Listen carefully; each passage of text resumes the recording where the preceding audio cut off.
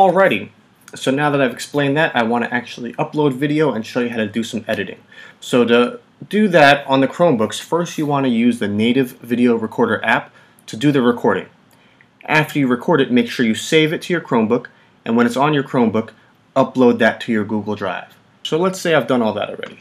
I want to put it in WeVideo. I'm going to press this up arrow. Now I want to drag and drop files here. I'm actually just going to press Google Drive because I want to import it from my Google Drive. Uh, I save the videos to my WeVideo folder.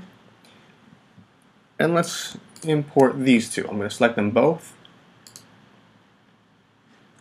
I'm going to upload it to My Media. And I'm going to press upload. Again, I don't want to share it with anyone. Let's just go to My Media, upload. So it's going to work its magic. It might take a little time depending on how long your video is. Probably fast forward. Keep in mind while this is uploading, you can still close this out for now and look at your media. So I uploaded one already. Disregard these extra ones. These are, are videos that I did previously and media that I already uploaded. Um, if you press this again, it'll show you the status, and both have been uploaded. All right, and you can see my, uh, you can clear them all, close out. Uh, you can see my goofy picture that I uploaded, and uh, this other video. So all these are different videos that I uploaded doing the same thing. Pressing this up arrow, select it from my Google Drive, and did the upload. Alright, so now I have some media. That's a very good. So now I want to drag it to my timeline because I actually want to make a video.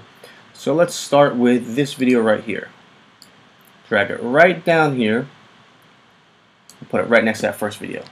Now you'll notice this one goes on for 10 seconds. That's a little too long for me. So I'm going to start from the beginning. I'm going to press play. And I'll say, I'd like it to end right about here, 5 seconds in. So I'm going to select this. Ooh, five seconds in. I'm going to bring my mouse to the tip of this. You see that? How it kind of changes when you go there?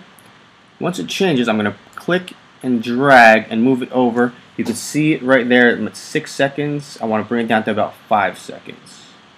Right about there. Boom. Perfect. So now I shorten that to five seconds. Alright, and then I want to bring this video over also. So it's connected. Now I want to see how this video starts. Let's see.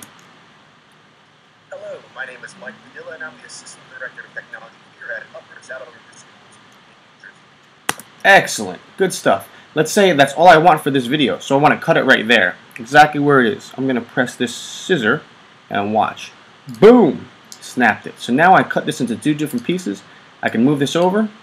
I can delete it. If I realize I didn't want to delete it and that was a mistake, I can undo it by pressing uh, Command Z and it undoes anything. So that's a great thing about video editing. Don't be afraid to make a mistake because you can always undo and look back and get get whatever you deleted back up to I believe 10, 10 steps. So Command Z I undid that. And let's say I want to connect them again, undo and undo and boom, there we have it. I'm all connected once again. So that's how you bring the video down here. Um, I'll go over trimming. Let's say I want to trim the end of this from here to there. I cut off a few seconds. And let's say I want to trim the middle of it, right around here. Um, stop it right there. I'll cut it. And let's say I want to I want to cut this. I want to cut this all the way, ugh, right here.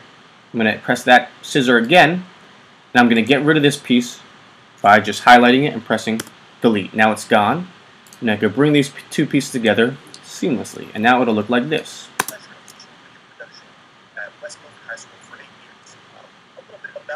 And you see that just happen right there. So that's the quick tutorial on how to bring upload video to this, bring it down to the timeline, and just do some very basic trimming around there. Keep in mind that you could zoom in all the way down here wherever this blue line is, if I press this zoom in, it'll zoom in. I could drag this thing over. And that comes really in handy if you want to get specific. Because now you see it's easier to drag. Let's say I want to end this video right here at 17 seconds. It's just a lot easier to work with. So keep in mind, zoom in and zoom out right there. I covered that. I covered the basic trimming, cutting, and editing.